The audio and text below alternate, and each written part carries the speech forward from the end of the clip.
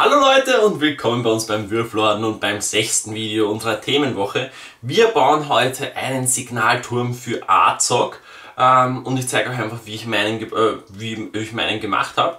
Vergesst nicht, schaut noch dringendst bei allen unseren Partnern vorbei, die haben ganz tolle Angebote während dieser Themenwoche, ob das jetzt das äh, Zombie-Zeit ist, die neben dem normalen Gutscheincode, den es immer gibt, auch noch ein extra Set mit Trollen und einem äh, einen Basing-Set zusammengestellt haben, ob das das Kobold-Nest mit extra Geländesets ist, ob das Sidequest-Store ist mit 5% ähm, zusätzlich auf euren Einkauf, ob das Mines and Dragons ist mit 20% auf euren Einkauf und die Möglichkeit genau das, die Teile zu kaufen, die ihr heute brauchen werdet, nämlich die Banner für den Signalturm.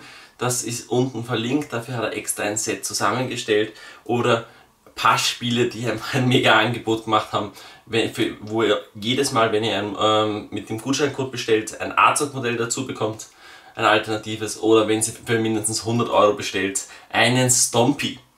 Ähm, ja, jetzt möchte ich euch nicht mehr lange aufhalten. Viel Spaß beim Bau.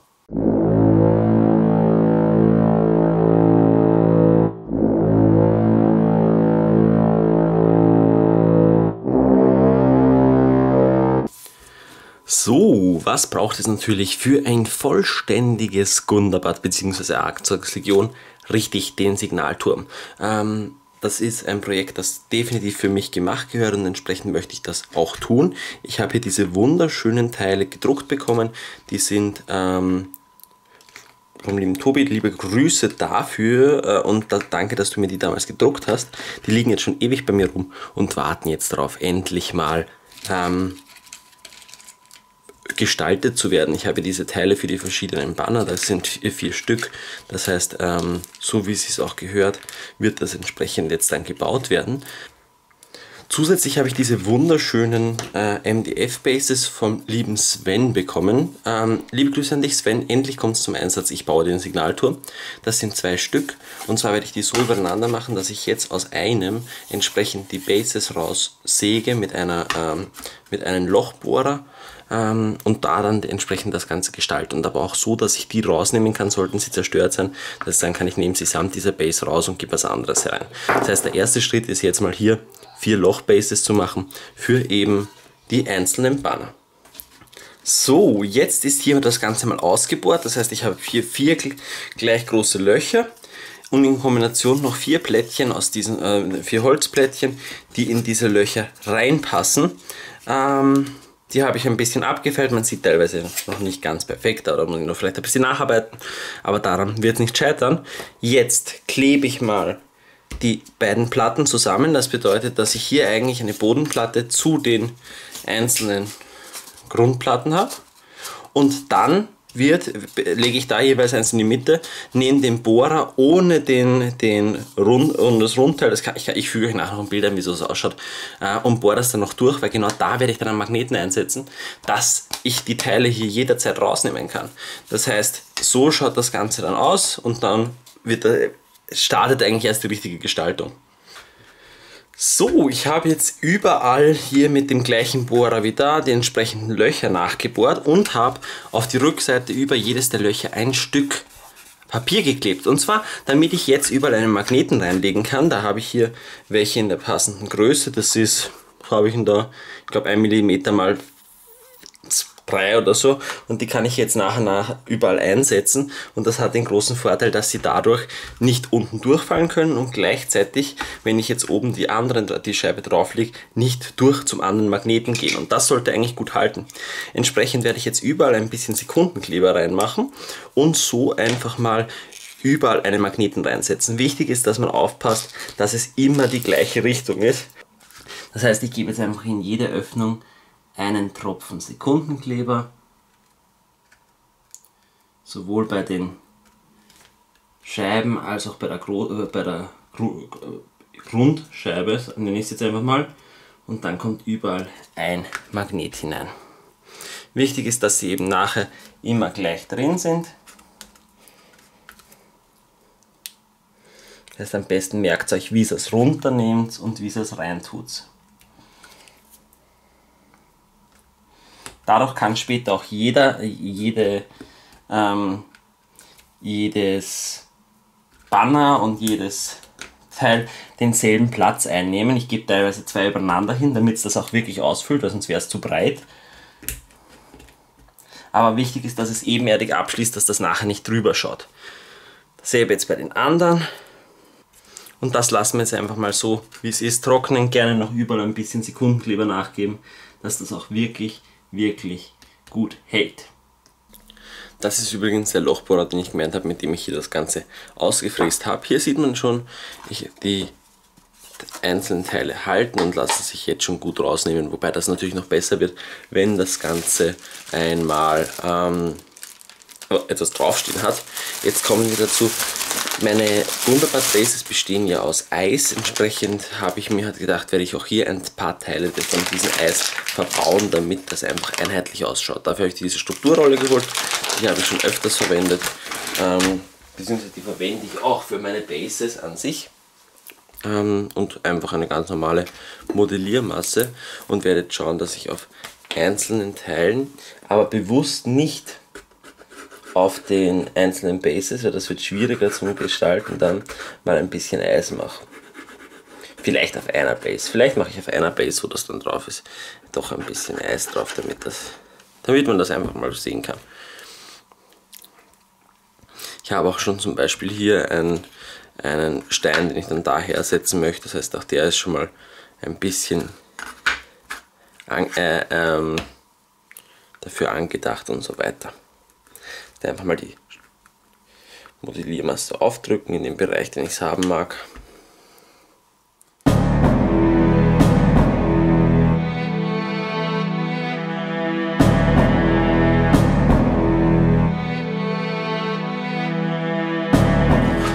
So, jetzt habe ich mit diverseste Bits, also unter anderem ein paar Fackeln und ähnliches Zeug von, äh, vom Koboldnest, was einfach noch von dem Set was ich vom Set da habe. Dann habe ich hier noch einiges an, an Steinen, an Struktursteinen, mit denen ich einfach ein paar Mauern bauen möchte, die einfach gut passen und optisch was hermachen. Und eben diese gegossenen Steine, wo ich jetzt ein paar platzieren werde, um hier einfach ein bisschen Struktur auf die Base zu kriegen. Ähm, das heißt, da werde ich entsprechend schauen, dass das Ganze dann gut ausschaut dass aber immer noch genug Platz für die entsprechenden Teile der, ähm, der, der Banner und Co. ist.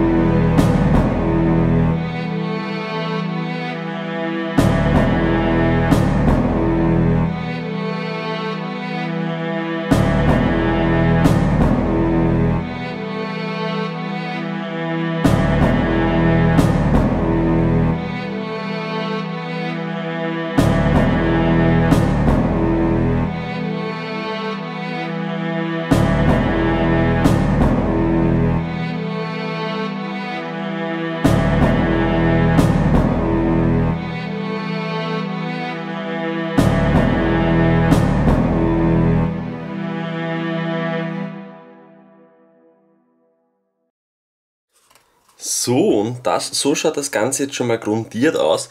Das macht natürlich gleich mal viel, viel mehr her, wenn das Ganze ein bisschen Farbe hat und nicht mehr so zusammengepfuscht ausschaut.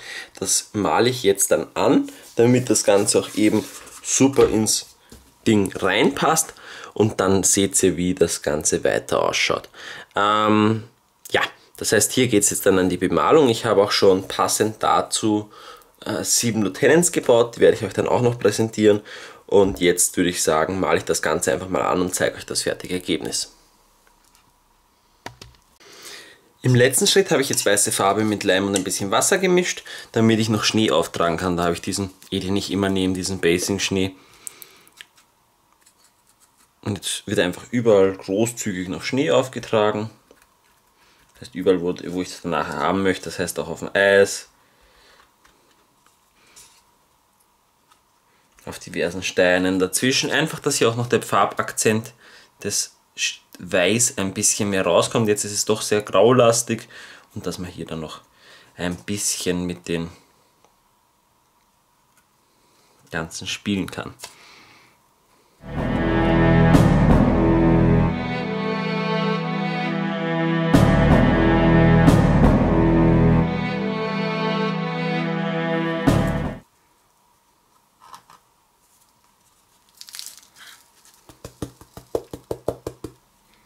So, hier ist jetzt mal der Schnee drauf. Das kommt, fehlt natürlich jetzt auch noch bei den einzelnen Bases der Aufbauten. Natürlich fehlen bei den Aufbauten auch noch die Banner, die habe ich natürlich noch vergessen zu erwähnen, aber die kommen dann nachher drauf, die bemale ich separat, weil gerade bei der vielen Bewegung und Vorbereitung habe ich mir gedacht, ist es besser, wenn ich hier das Ganze Stück für Stück mache und nicht alles auf einmal schon zusammengeklebt, weil sonst bricht man hundertprozentig was ab, bei meinem Glück, wie ich es kenne.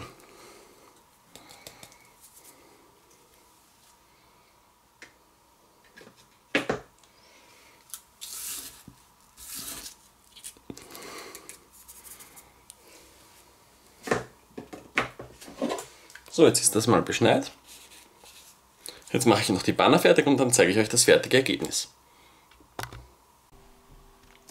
So, das ist mein fertiger Signalturm inklusive sieben umgebauter Lieutenants. Die habe ich aus den aus Moranen Orks beziehungsweise ich glaube äh, zwei Uruks auch gemacht, habe unter anderem die Teile von Unreleased Miniatures mit diesen Köpfen hinten verwendet, aber zum Beispiel auch einen Warlord-Helm, diverseste Bits, ähm, und Waffen, was ich einfach so noch gefunden habe und für den Umbau ge sich geeignet hat. Aber mit dem Signalton bin ich mega zufrieden. Er hat ihn mir kurz schon bei der Alternativmodell-Variante gesehen. Ähm, macht was her, ist super einfach mit den abnehmbaren Teilen. Dadurch kann man das wirklich super darstellen. Ist magnetisiert, hält dadurch auch relativ gut und ist meiner Meinung nach ein richtig schönes Ergebnis, auf das ich zumindest schon mal sehr, sehr stolz bin. Bin gespannt, was ihr dazu sagt. Das ähm, war ja, ist meiner Meinung nach einfach ein Kernmodell für die Armee, das hier sehr bezeichnend ist und viel, viel, viel hermacht und die kleinen Details, die man auf einer solchen großen Base machen kann, sie ist natürlich richtig cool. Ja, das war's einmal und danke. Das war's mit dem sechsten Video. Ich hoffe, ihr hattet Spaß. Vergesst nicht unten zu kommentieren. Heute kommt noch zusätzlich ein, ein Geländevideo vom ähm, von Wieland Schmiede und zwar baut er eine Schmiede aus Gundabad, finde ich eine wahnsinnig coole Geländeidee, äh, eine Org-Schmiede. Äh, vergesst nicht zu kommentieren, um am Gewinnspiel teilzunehmen und schaut morgen wieder rein, wenn es zum letzten Spielbericht geht. Vielen Dank und tschüss!